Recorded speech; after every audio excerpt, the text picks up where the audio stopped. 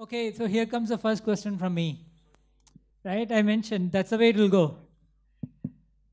So, what's your experience about this first ever Eclipse Summit in India? You're welcome to raise your hands, or you can leave it to chance to me.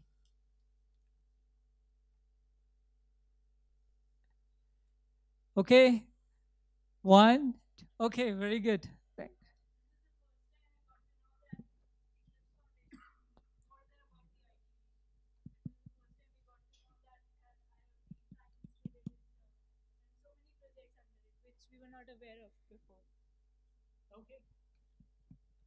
That's great.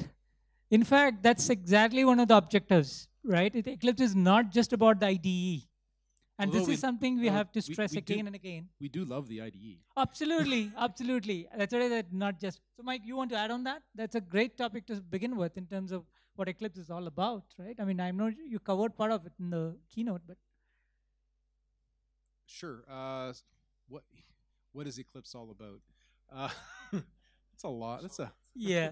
Uh, two minutes. You have two Yeah, minutes. do you have all day? Um, look, the, the main, the role that the foundation plays is to provide a place where projects can come to build software. And what we offer is a set of resources, some infrastructure, uh, the intellectual property management, and the processes to help projects become mature um, so that they can be successfully adopted the measure of success for an Eclipse project is not just like writing a lot of code and writing some cool stuff.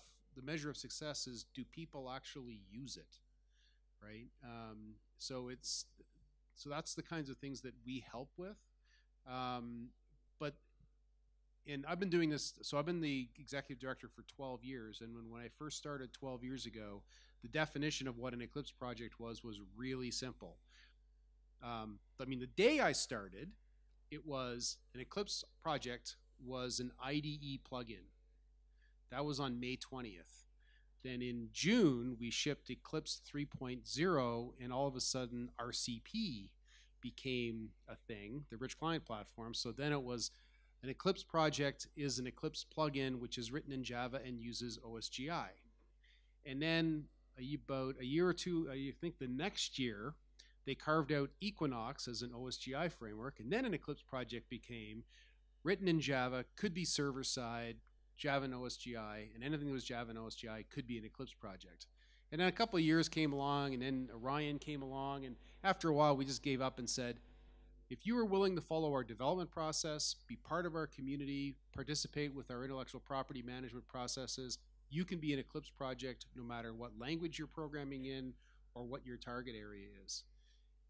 Then we had a completely different problem, which is when you say that, that's a very big space. And that's when we started coming up with the idea of the working groups, which was to provide sort of a, uh, a way for people who were interested in a single domain to find each other. Um, so things like IoT and science and location tech and PolarSys. I mean, really, a, a lot of what that is is for both the people and the companies that are interested in a particular domain area, whether it's Internet of Things or scientific computing or um, embedded systems development, to be able to just find each other and share their common interests and put together um, some projects that are helping tackle a particular problem. So, kind of a, longer than two minutes, but sort of an. That's great. Thanks, Mike. Okay, next question. I have a question for the panel. Uh, if you had a time machine and if you could go back in time, what's the one thing that you would do differently on the Eclipse project? Uh, that's a question to all the panelists, so I would expect everyone to answer this one. Then we'll have to be here the whole night. I'll go first. So, you might thought you you would get a technical answer, No, but mine mine is actually a social and cultural answer. If there's one thing I could do that go back into a time machine and cha- and change, is beat the shit out of the IBM guys back in 2004 to be more open to outside contributions back then, because basically what happened it was it was an IBM only club for far too freaking long until it became a crisis, and then all of a sudden it's like, oh yeah, can you please come and help? Um, and so uh, it, would have been a lot better for everybody if there were five companies, major investments in in the Eclipse platform in 2005, as opposed to you know waiting into after 2010 would have completely changed the dynamic of the project. And yeah, it would have been a big pain in the butt for at the beginning, um, but it would have um, been a much better outcome. This is where Danny can tell me full shit. Because he was actually there. Yeah, I was there. So I think it's you, it's both sides, right? It's not that we were not open; there was just no one had any to contribute because everything went Everybody has their own interpretation of history.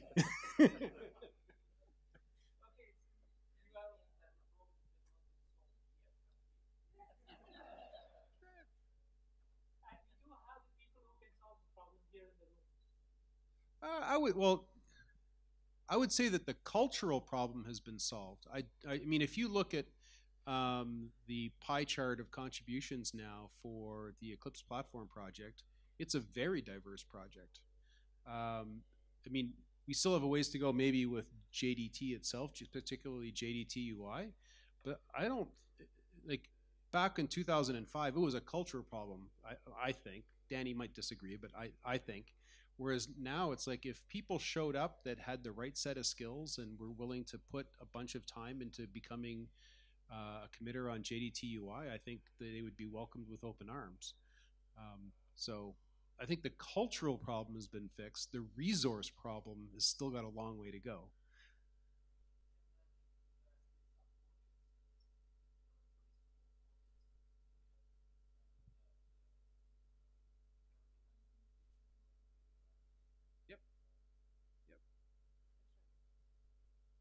Yeah, but I, I would like uh, go back to what I'd said a moment ago.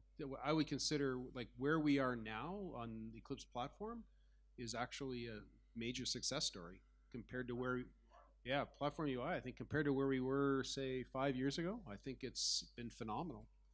Um, yeah, there's definitely uh, a few places, a few other places, and and by the way, this is not unique to the Eclipse project. There are lots of other projects within the Eclipse community um, that are starved for, for resources and contributions. Um, you know, there's this myth myth in open source that if we create a project, they will come. And that's actually just so you know, that's a myth. I mean, if you want people to contribute to your project, you have to work hard to get people to contribute to your project. Help onboard them, make sure that they know that they're welcome, make sure that the documentation is there. I mean, I've had so many times in the last 12 years, I've had conversations where people say, I'm going to create a new open source project. What's the number one thing I can do to help get contributions? Um, and they never do what I tell them to do ever, which is you need you need to have a hello world example where from the from within five minutes from downloading your project, somebody can actually get something running, um, and that actually takes real work to do. But if you don't have people using your code, they're never, ever, ever going to contribute. Um, so the pipeline for contribution starts with getting people to use your stuff. Anyways, why am I the only guy talking on this panel? Sorry, well, um, actually, also along the lines of um, like welcoming contributions and stuff, if I could go back in time, um, when we started the IoT initiative, I was actually not Eclipse at the time, not like uh, Eclipse Foundation. I was working for a different company. And um, yeah, if I could go back in time, I would actually like to have been able at the time to welcome the competition uh, in that what we were trying to achieve is build a community around IoT. And you don't get to pick a, the winner, like in, term of, in terms of technology. Maybe my company at the time wanted or would have wanted some technology to be uh, to become uh, the, the, de facto standard. Uh, but it turns out like if you really want to build a community not only of users but also of developers, contributors, then you need to make sure that whatever is the open source community you're trying to build, not only you you will try to push your project forward, but you need to welcome some project that may be a, a competitor, and uh, that's why now actually at, at, Eclipse IoT there's like 25 different projects, and some of them, if you look closely, they are actually overlapping, and the one who's going to win or the ones who, who are going to win are going to be the ones uh, who welcome the, the, the, the external contributions, who, who have the, critical mass of contributors, etc. But you really need this diversity in order to for the, project to be successful. So I wish I would have realized that earlier. So maybe give a technical answer with what we should have done better when we could restart from scratch. So when we start started, we, we just wanted to build a platform uh, for tools, and we one of the things, the application was really JDT, and we didn't envision that there were also other languages. So we missed to have a layer for just for language tools that can be built in the same way as JDT, and that's something we would fix if we could go back. Okay, that's a good one. That's that's actually what number one on my list. Thanks, Danny. okay, so um, one thing I would, um, um, in my opinion, we could have actually uh, played a, an active role, more active role in the cloud development space, right? For example, Eclipse kind of um, took the shape as a desktop environment, right? Not getting into the cloud development, cloud app development early on. So for example, we launched the Eclipse uh, cloud development project as a top level project, and there are projects part of it, right? It could have been done a few years earlier so that there is momentum. And see, the, inter the interesting point there is, there isn't one single environment that is winning the cloud app development space, right? There's a lot of fragmentation there. That was not the case when um, when Eclipse came about as a Java development environment. Eclipse clearly was the winner, right? Even if there were other players involved, right? So that's a missed opportunity for us, in my opinion. Stephan? I actually want to uh, say a little bit the opposite point of view uh, uh, versus the obstacle of people having the picture that Eclipse equals IBM and this was an obstacle to uh, contributions from outside. Uh, I guess it just happened uh, that, that, I was among the first who didn't know about this vision, this view that Eclipse equals IBM. I was just looking at the code. I was hacking. Uh, back then, I was researcher at university. I was hacking on compilers. I saw the uh, JDT compiler was a great compiler. Could use it for object teams. Great. Oh, there was a bug. And then I filed a bug report, filed another bug report, submitted a patch. And from that point in time, I felt extremely welcomed by the JDT core team uh, because they were appreciating the effort I was putting into working with that code base. And uh, at that level, I never felt that there was a real barrier against uh, contributors joining the team. And I think uh, ever since then, this cooperation has gone very well. And I'm very happy that just this year, uh, somebody was following exactly my steps in JDT Core. And uh, so we sp speak a lot about places to meet. Uh, and of course, the conferences are the number one place where you can connect and uh, join a team, uh, become member of everything else. But uh, for me, actually, the number one place to become a member of this community was another place, which is Bugzilla. And cooperation in Bugzilla is something that I learned in the early days and worked well. And nothing of this uh, path of contribution I would want to change, even with a time machine.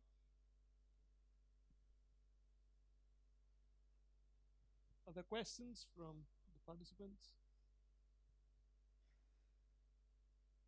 Okay, then here comes the next question for you. Ready? So what is that that you would like to see different in the next Eclipse Summit so it happens.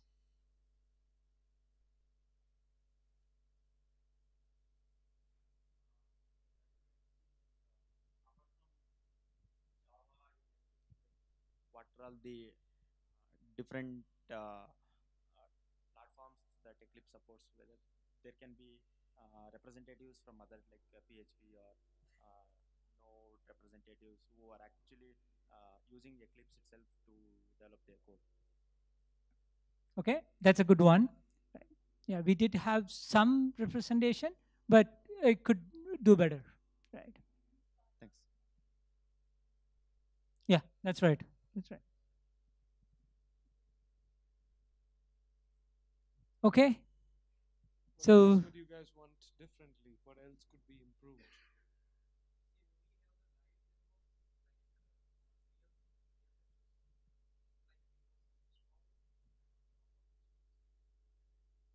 Oh, you mean some kind of demo stations, right? Okay. It's good good feedback.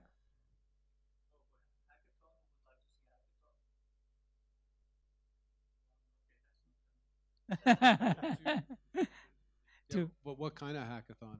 To, do you want to write Eclipse plugins? Uh, do you want to write Vert.x verticles? Do you want to write IoT stuff? If you say we are having an Eclipse hackathon, what are we hacking? What are we hacking on?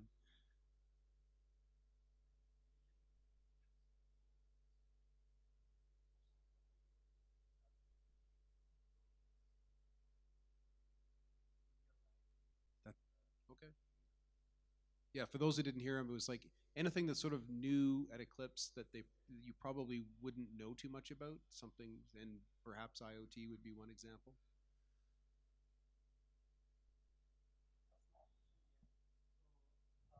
like we have Eclipse uh, forum, so we will get a very uh, late response in Eclipse forums.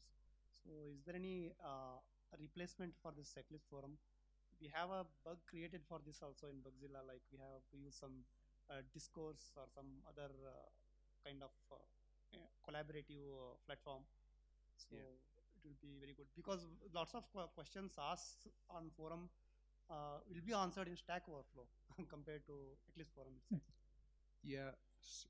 So f- yeah, the, the forum software that we have at Eclipse.org is not great. Um, I mean, it's it was a big step up, I think, from the old NNTP, like the new the news stuff that we had years ago. But um, a, a more modern system like Discourse would be great. To be honest, the, only reason why we haven't done anything there is strictly just a lack of resources. Um, like if you look at what we have at eclipse.org, um, you know, we have a website that's huge. It's sprawling. We have like 300 plus projects. Each has their own website. We have downloads. Um, we put out, um, I can't remember what it is, like 40 terabytes a month uh, pumped out of that website. We have, well, the last month notwithstanding, we have pretty good uptime and um, you know we have a huge community of stakeholders that always want this that or the other thing and we have three guys that keep it up um, so it's it's just strictly a lack of resources. Um, i've heard nothing but good things about discourse um, but um, and we, so we'd love to be able to do something better. It's just we just don't have the people and the time so far to do it. Wish i had a better answer. So some some stuff is going on on Mattermost where you can ask Yeah. questions and people are online. Yeah, so yeah, that's a good point. So if you don't if you don't know about it, there's a is it mattermost.eclipse.org? So matter how many people here know Slack? All right. So how many people here have ever heard of Mattermost? Okay. Yeah. So so Mattermost is basically an open source equivalent to Slack and we have an instance hosted at eclipse.org and there's channels there for quite a few different projects so that's a it's a way for you to engage with the project teams in a more with a more modern user interface um, so you can definitely you can definitely try that it's not the same sort of not really the same as discourse but it's definitely an improvement over uh, over the forums as well Yeah, you can interact directly. Yep.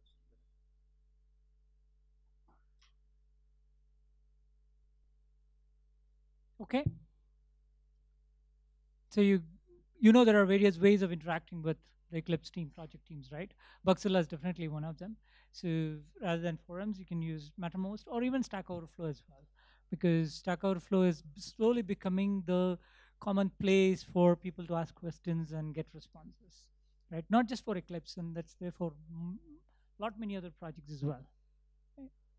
at least in the next five years we will have both, like those that there are people that use Maven for five or more years. There are people that hate to use Maven and they use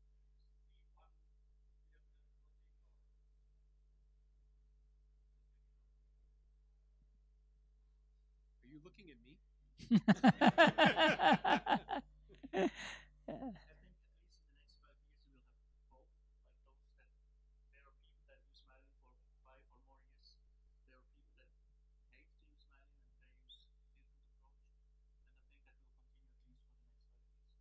Right. And just to add on, so that um, I think we are talking about a personal experience here, right? I mean, the development environment should cater to your um, personal interests. So no matter whatever you provide in there, right? I know there are Eclipse IDE users where even if there is eGit, I know people who actively uses command line Git, right? So, so, so there are there are certain practices that we follow and we continue to follow that. What would happen definitely is that there will be a hybrid approach for especially for to cater to those people who are whom i consider as advanced users right? Because they know exactly what they're doing. For the other set of users what i would see happening is in terms of getting a way to provision their development environment pretty fast right? It could be a docker image right? Just to put it out there so that you don't deal with the complexities of developing, I mean, setting up your environment. You just get your environment for yourself, right? So that's another way to think about it, right? And of course, it could be on the cloud as well, right? Not just the Docker. Right? You do realize you just described Eclipse Che, right? Was that on purpose? Part of it, yes, Mike, because it is actually the midway between from desktop to all the way to cloud, right? Yeah. Yeah, but it, I mean, Eclipse Che is basically turning in a way into, I mean, your workspace is, do, is, is a Docker image. That's right. That's sort of the, the way that they're going. But I mean, actually, um, so Jay, my answer to your question is, I think Danny's right. I mean, for the next five years, it's going to be both. But I think the long-term trend is absolutely everything's going towards the browser. Um, and if for no other reason than, I mean, old guys like Danny and I will retire and get out of the way, and the young people all want everything in the browser. So, um, so that I mean, the trend is, um, I think, the tr- the trend over time is is pretty clear, um, and that's fine. I mean, I'm, uh, you know, five years ago, I was one of the guys that was was saying things like, tools will never be in the browser. They'll, you know, they're not it'll never be fast enough, it'll never be good enough. And then you know the Orion team showed me an editor that running in Chrome is faster than the, the Eclipse editor, right? Um, or at least as fast. And so you know, part of that is because the browsers got way faster. Um, part of that is because people started writing good code. But I mean, it's just I think the trend is absolutely moving in that in that direction. Um, of course, a hundred years from now, there's still going to be a bunch of people arguing whether VI is better than Emacs, um, but everybody else will be using tools in the browser. Okay, that's right. Yes, Ankur.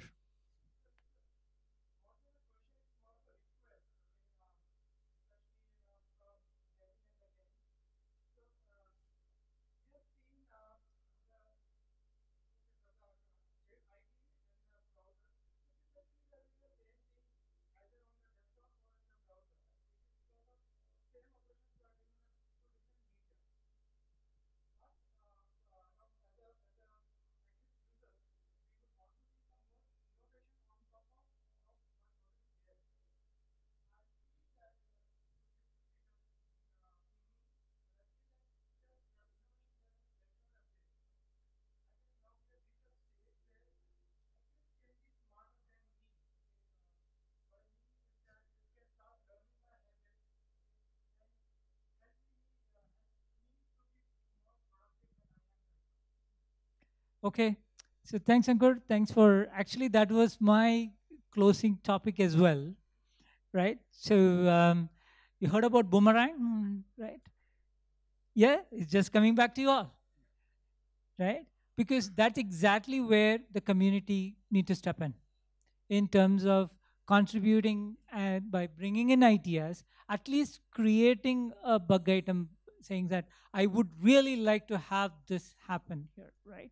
So, by the way, in the cloud space, there are innovations happening, right? Part of it is in terms of right now more about the infrastructure, in not the cloud infrastructure, but the framework of the cloud, uh, the cloud-based environment, right?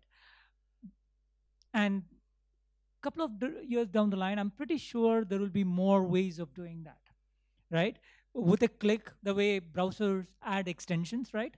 That's exactly the way Orion gives you the ability to bring in new features. It's essentially a browser extension, right? And that that's the way it will move towards, right? And it'll it'll be it it should come from the community, right? How many of you use GitHub here? Right? How many of you use more than one extensions to GitHub?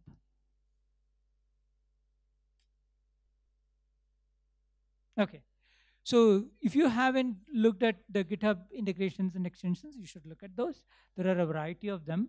And the model in which they integrate with GitHub and the way uh, actually let me put it this way they they actually enhance your experience it's not about integrating with github it's about enhancing your overall experience right that it, that's similar to the way even orion is doing with respect to the web IDE and helping you install capabilities that you need right in a very lightweight way right?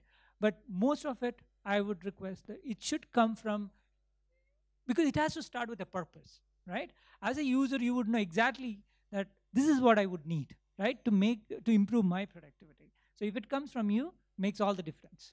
First is put in the request. Second is put in the code if you can Right. Anyone else? So one thing that I would, would propose is you look at code recommendations, especially for what you just mentioned. Code Recommenders tries to learn from, from what you do and also from what others do, and then they, for example, they they rank proposals higher and such things. So that this goes into the direction that, that goes. Which also proves the point that uh, such additions uh, should come from additional plugins. Uh, you should not expect this, these things from JDT because there's a lot of groundwork to be done just in JDT, and JDT is best as just handling Java as it is, and everything that adds smartness and, and machine learning, etc., should be done on top. And I think we do have the uh, API that allows all this, and Code Recommenders actually proves we do.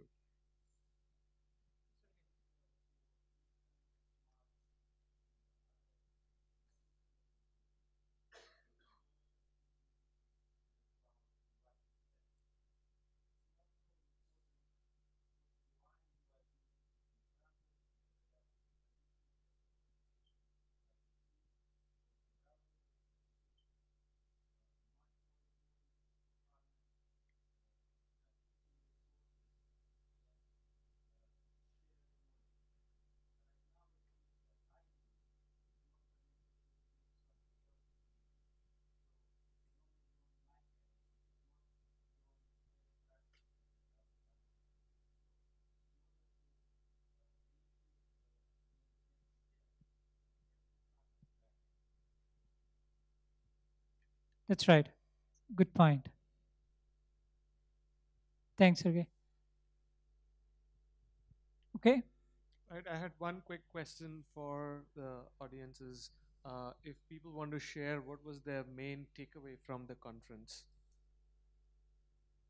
What was your main takeaway from the conference?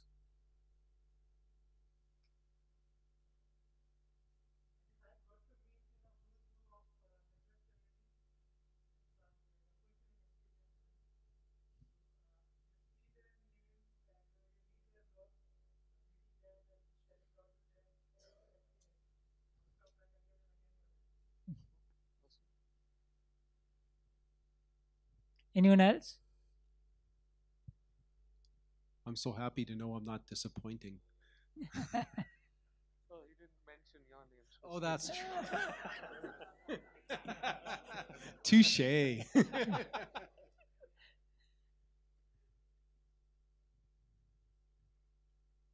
Others had no takeaways?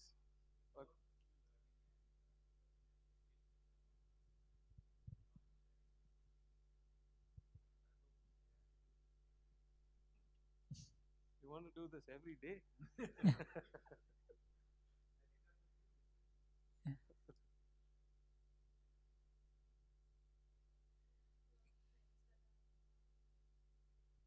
Exposure to trends that are going on. Okay, cool.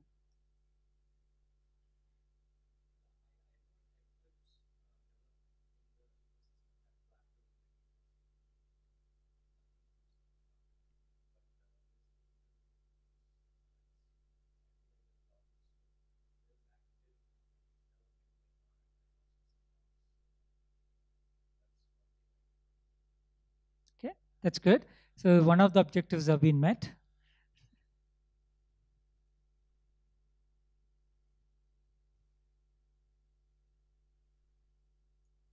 Okay. very quiet. Yeah. In the past, when we asked this question, you had to ask people to shut up.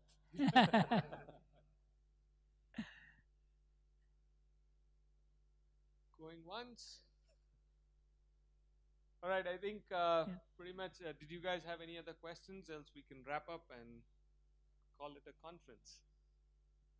Sure. Okay.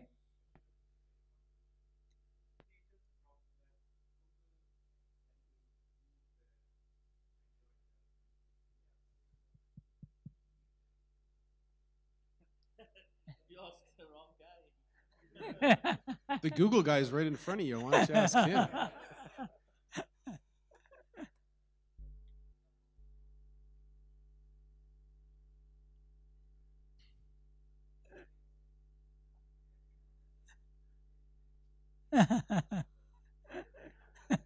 So I don't belong to either of the companies, but as a user, I can tell you it's a survival of the fittest. I think Android Studio beats what Eclipse had hands down as a user purely. And so that's my understanding what, why the decision was made. I don't know, you guys might have better insights and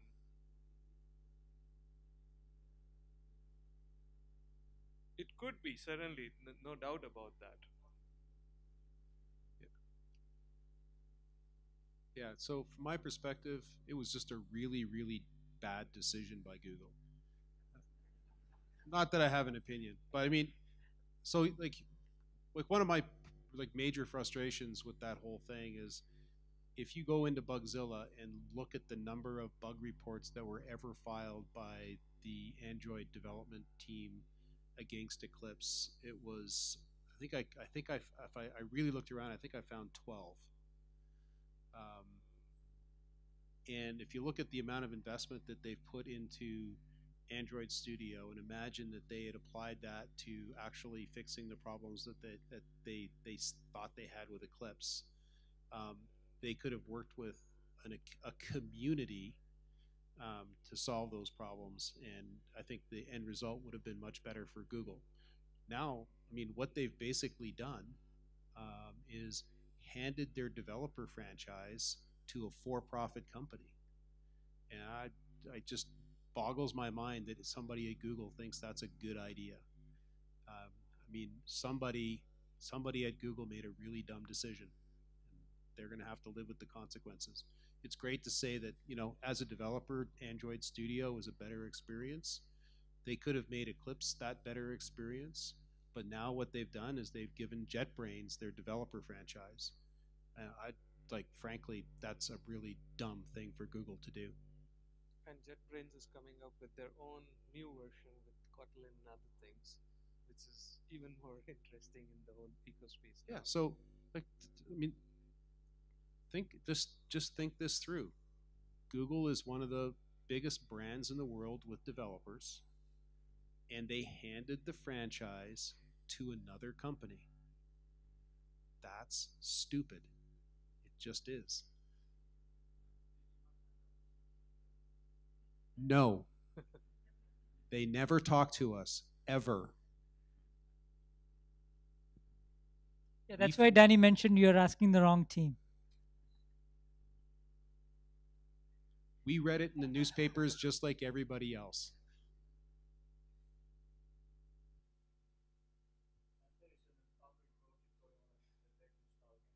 Uh, speaking of something that's starved for resources, like if if you want to have Eclipse tools for Android, I mean, there's a project called Andmore at Eclipse um, that's trying to keep those things alive, and it's an entirely community-led effort. Um, but so far, they've been really struggling to get people to step up to help them. So, if you're interested in doing that, um, you know, any amount of energy you can provide would be deeply appreciated.